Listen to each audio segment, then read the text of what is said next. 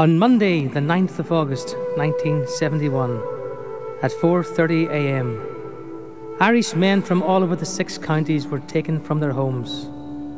Hundreds of these men were then imprisoned without trial in Long Kesh concentration camp.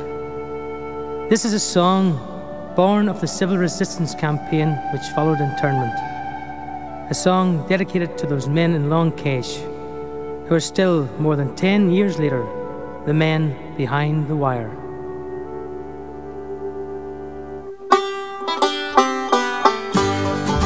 Armored cars and tanks and guns came to take away our sons, but every man will stand behind the men behind the wire.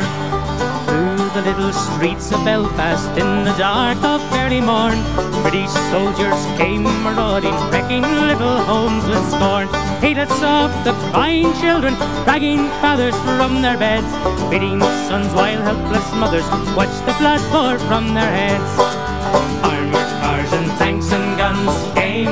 Take away our sons, for every man will stand behind the men behind the wire. Not for them a judge and jury, nor indeed a crime at all. Being Irish means they're guilty, so we're guilty one and all.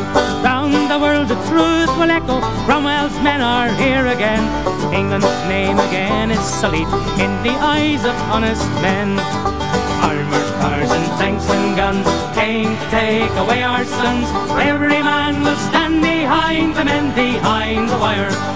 Proudly march behind our banners, firmly stand behind our men.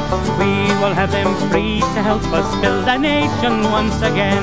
On the people, step together, proudly, firmly on your way.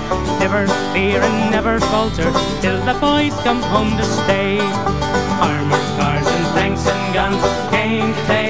our sons. Every man will stand behind the men behind the wire. Armored cars and tanks and guns came to take away our sons. Every man will stand behind the men behind the wire.